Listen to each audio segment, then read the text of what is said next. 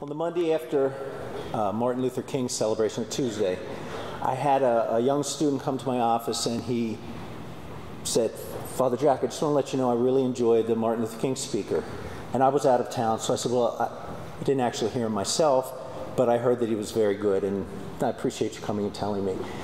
And then he kind of stood around and shuffled his feet a little bit, and I said, Is there something more you want to say? And he said, Well, I would like to speak to our school community one day. And I said, And what would we speak about?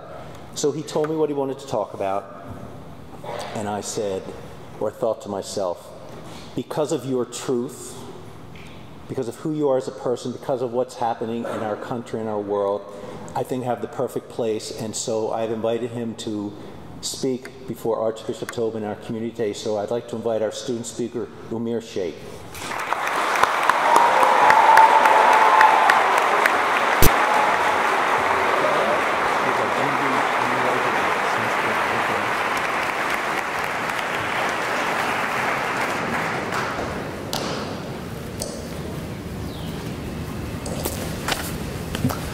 Good morning, everyone. My name is Umayr Shaikh, and I am a junior from the Brebeuf class of 2017. I want to start out by thanking everyone who granted me the privilege to stand up here and share my thoughts with you all. Thank you very much to Archbishop Tobin and the entirety of the Jesuit family for spending Mass here with us today. Thank you, Father Jack and Mr. Van Slambrook, for granting me the wonderful opportunity to stand up here and share my thoughts with you all. And lastly, but most certainly not least, Thank you, my fellow classmates and faculty, for lending me your ear for the time we have. Today is a very special day. For a religious purpose, most certainly. But just as importantly, it is one of the few times throughout the school year where we are all gathered in one place to listen, reflect, and experience the power of the bonds that we all share with one another. Now, I'm sure that I'm not the first person to have told you this, but I repeat it to you because of the profound truth that lies behind it. The bonds that we have here, as a Brebeuf, as a school, but even more so as a family, are bonds quite unlike any other. They're bonds of kinship, belonging, acceptance, and love. My experience in high school has been full of many interesting twists and turns, and the bonds that I formed here are quite honestly the bonds that I least expected to form. But I'm proud to say that the one thing that has always remained constant in my Brebeuf experience is the strength of the bonds that I so deeply cherish with each and every one of my classmates. For those of you who do not know, I came to Brebeuf from a public school of rather notable size, accompanied by an equally proportional amount of mischief, unawareness, and unwillingness which would, which would prove to be an issue for, which would prove to be an issue for a darker skinned Muslim boy such as myself.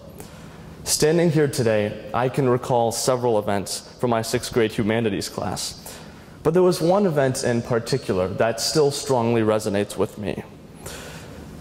It was an early May morning in 2011, and every Friday my teacher would go on this website called Flocabulary, where the creators put all of the world's major events from that week into a rap song so that all the kids would be more apt and more inclined to learning about it. The particular one we listened to that day mentioned how Osama bin Laden had just been found and killed.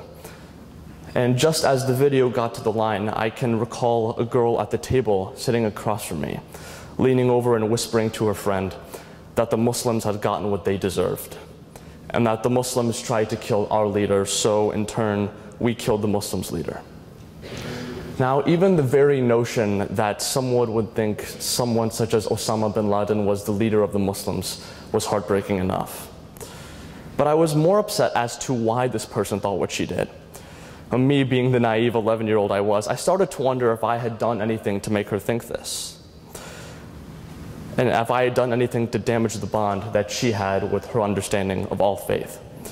So I reasoned it would simply be best to not talk about it or not even mention it at all for my mention of my faith never seemed to bring about any positive change. This resolve of mine was rather short lived, as in the seventh grade, my teacher asked me for a huge honor to teach with the class Arabic and about the faith of Islam. However, I quickly realized that perhaps teaching about my faith would clear up misconceptions. So I thanked my teacher, shoved my reluctance aside, and accepted. I soon began teaching Arabic and Islamic history to the class, for the most part, my classmates absolutely loved it. They really got into learning a language with an entirely different alphabet and a history completely different from the one they had known their entire lives. However, there were two kids in my class who just didn't quite get the concept of what I was trying to teach them.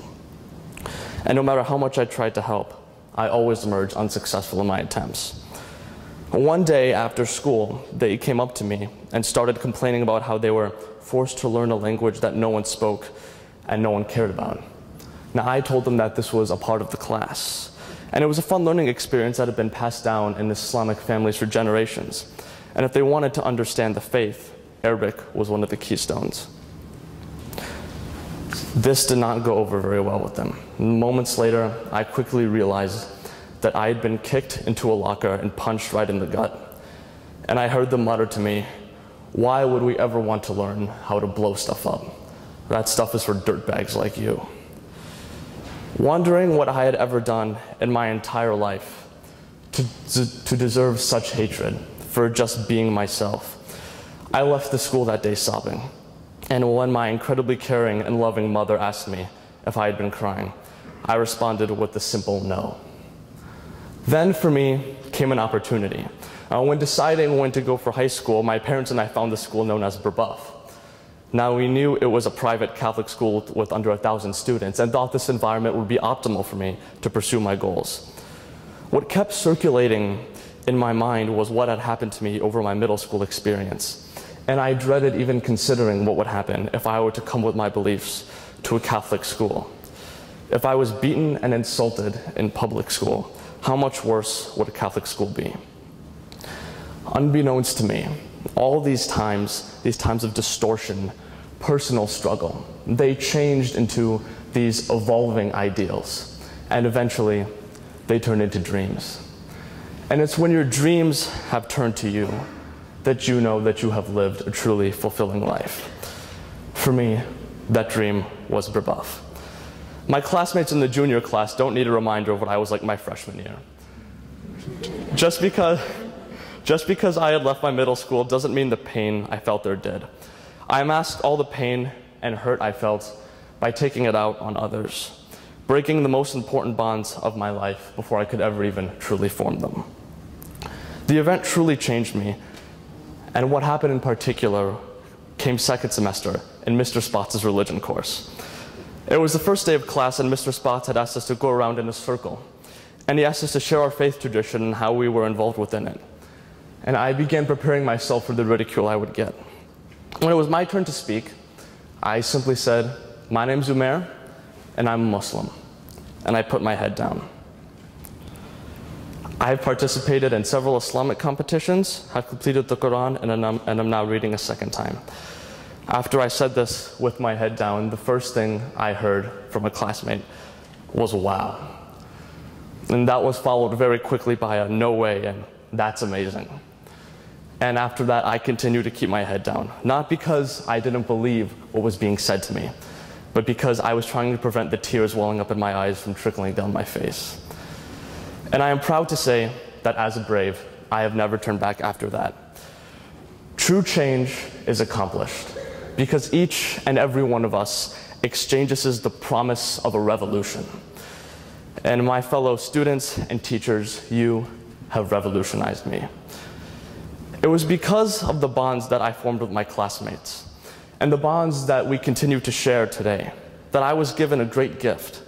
I was granted the privilege of starting the Muslim Student Union here at Brebeuf. And it's truly because of the kindness and acceptance that you have all shown me. Because of this, not only was I propelled into more curiosity about my own faith, but I began to become curious about the Catholic faith tradition as well.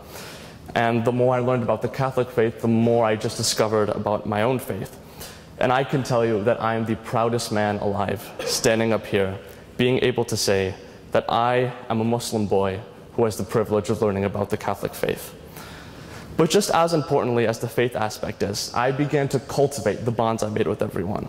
And the bonds that I share with each and every one of you is just as precious to me as life itself.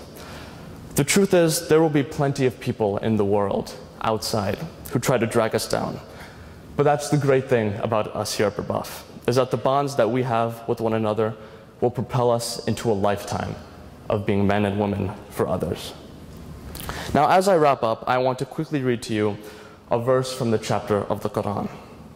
It reads, وَالشَّمْسِ وَضُحَاهَا وَالْقَمَرِ إِذَا تَلَاهَا وَالنَّهَارِ إِذَا جَلَّاهَا وَاللَّيْلِ إِذَا يَخْشَى والسماء وما بناها والأرض وما طحاها ونفس وما سواها فألهمها فجورها وتقواها قد أفلح من تزكى وقد قاب من ضسى By the sun and its brightness, by the moon as it follows it, by the heaven and him who built it, by the earth and he who spread it, by the soul and he who perfected it and inspired it with all the knowledge of what is wrong for it and what is right for it. Indeed, successful will be the one who attempts and purifies it, and indeed, unsuccessful will be the one who corrupts it. My fellow Brebeuf family, whenever I see one of you, I see the promise of a world that shines with light. So I leave you with these last few words. Despite my hesitations, despite all of my worries and regrets I think I've had up until now, with the few words you have given me, you have all vanquished my bewilderment and shown me what the true power of bonds can hold.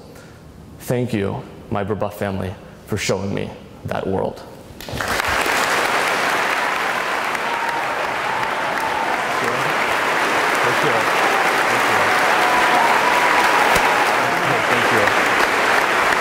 алейкум. Алейкум салям. Спасибо.